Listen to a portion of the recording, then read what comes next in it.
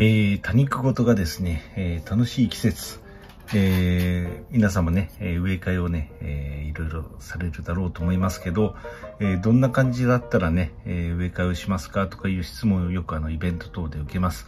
で、まあちょっとね、こういうやつやったら、え植え替えをしますよっていうのをこう、こうね、持ってきましたけど、え例えばこれ、アルビカンスハイブリッド、いい感じですね。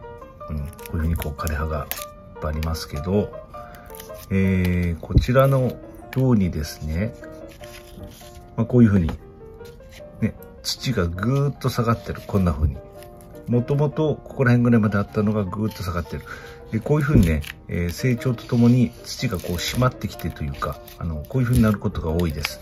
で、こうやってい、えー、くと、まあこういう風にこう、枯れがたくさんあるということからこう分かるようにですね、もうちょっとさすがにこう植え替えの、えー、タイミングかなというようなことで、ぐーっとこういう風にね、土が下がったやつ、えー、こういったやつは、あの、植え替えるようにしてます。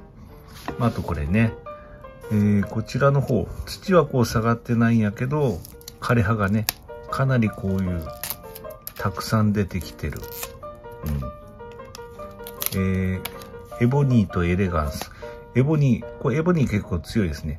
エボニーとかさほどこう水がいらないのに、えー、水をあまりこう必要としない品種、水持ちがいい。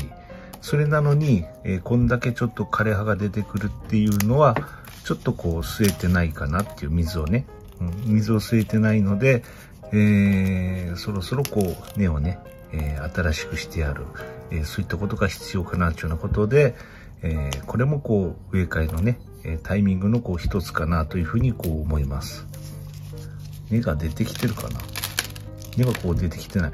だから鉢底からこう、えー、根が出てるやつとかいうのはね、まあ、ほんとこう植え替えのタイミングかなとかいうのはあります。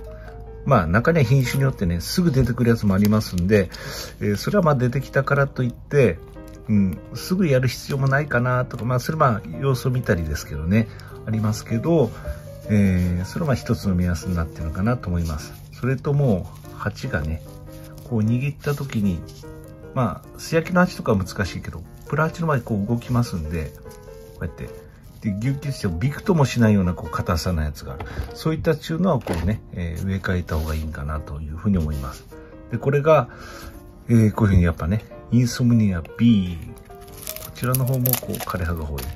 これちょっともうね、うちに来てこうかなり古いんですよね。で、まあ表面こういうふうにこうカヌマになってるので、まあ、カヌマだから乾きやすいからかなと思うけど、まあ、これひょっとしたらね、自分がよくやるようにこう、2層3層に植えてるのかもしれません。うん、ちょっとわかんないですけど、ただ、鉢がね、こうビクともしない。さっきこれこう、ね、ぎゅうぎゅうと音もしますけど、まあ、鉢劣化して、えー、割れそう、ピキッと言いましたから、こういう風になってくるね、こう劣化するとね、こういうギザギザなる。パキって言うでしょ。もう蜂も悪いから変えなきゃいけない。で、こっちの方はガッチガチ。こう、強く握っても動かないですよね。だからかなりもう根詰まりしてる。芽は出てきてないけど、うん、そういう感じ。だからこちらも植え替えですね。であとまあ、ソウルウォーカー。ね。すごい茎が。こういう風に茎がなるの良くないよね。他の動画でもこう言いましたけどね。だから、吸えてないですね。こういう風にね。うん。こういう風にソウルウォーカーがこう、茎立ちする多肉化っていうのがよくわかんないですけど、ね、QR コードもないんで、これかなり古い。で、しかも、こういう風にね、えー、カヌマなので、まあ、見てみましょうか。ね。やっぱちょっと3層にしてるね。表面だけは、えー、カヌマで、で、配合で八足石っていう感じですね。まあ、こうなっていくともうこれはもうちょんぱした方が、ちょんぱしてリセットした方がいいかなっていうね。うん。えー、そんな感じです、こちらはね。はい。ちょっとこちら、ちょんぱしますかね。ねはい。まあこれはこれで、またね、あれは出てくるかもしれんけど、新しくこう胴吹きっていうかしてくるかもしれんけどはいこういうに切って、えー、こちらの方はリセットして植え替えるはい、そっちの方がよかろうかと思います。もうちょっと切るか。ね。こんな感じ。あ、ちょっとこれ炒めた。歯を炒めてしまったんで、ちょっとこれも取ろう。ちょっと綺麗にしないとな。ね。ちょっと、こちらね、こう後でまたちゃんとやりましょう。で、これ、さっきまあパンパンだった。これちょっと一回戻しますかね。えー、インソムニア B。さあ、こちらがどうか。こちらが、変わった。ね。あ、あれやな。えー、カヌマオンリーでしたね。うん、だから外側までこう、尾根がね、ね、びっしり巻いてるでしょ。うん、だからこれはもう完全に、えー、根詰まり状態ですね。こう抜いて、八足石までバッと完全に取れる。こういうやつはもう本当に根詰まりなので、うん、本当にこう植え替え時期です。はい。こういうやつはしっかり根を取ってね。カヌマはね、こう細かい根がたくさん張るですね。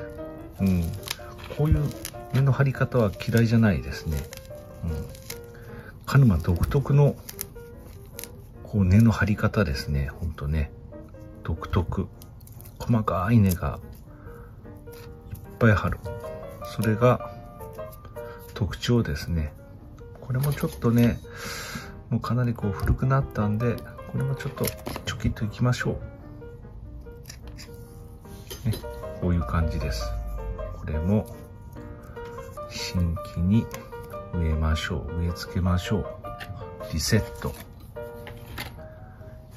で、エボニーエレガンス。これはどうかな？これも、これちょっと、あ、これもハイゴールドだけですね。だけど、かなりもう外側までこういう風に来てるので、まあこれもちょっと、えー、根詰まりかなっていうね、気がします。まあもうちょっと様子見てもいいかなっていうね、うん、エボニー系、エボニーとエレガンス。エボニーは本当、まあさっきも言いましたけど、えー、あんまりこう水を必要としない。他のエケベリアに対して、まあ他がえー、ある程度に2回上げるときに1回ぐらいでいいかなっていうね、えー、そんな感じのとこありますんでで結構いい感じで根が張ってるのでこれはちょっとあえてさっきみたいにチョンパせずにですねチョンパせずにある程度、えー、残してあげてですね残してあげてはいこれは植えたいなというふうに思いますでまあ最後ねえーアルビカンスハイブリッド、土がぐーっと下がってるやつ。これ多分リエルさんで買って、そのまんまのやつですね。そのまんま。はい。だからそこもちょっと違いますでしょ。で、やっぱ外側までこういう風に、ね、なってるので、こちらの方も、えー、一回、整理して、新しくしてあげる。ね。これもちょっとこういう茎立ちしてるなぁ。リセットしてあげていいかなって気がしますね。ちょっともう古い。こういうふうにね、もぎ取れるから。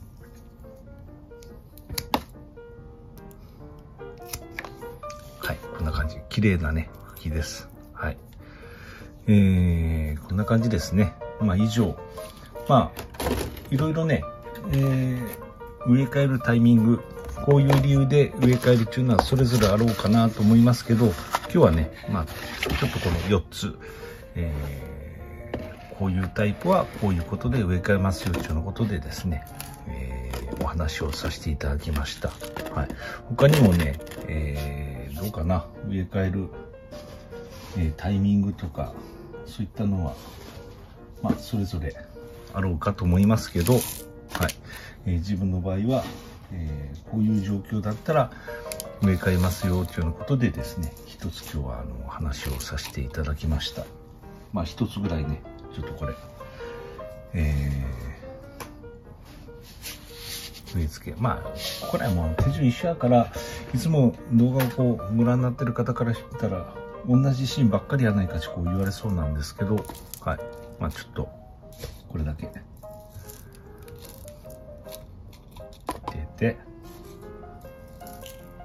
また3層にしてますね。8足石があって、えー、配合があって、表面がレーザの土ということで、はい。肥料もちょっと入れてました。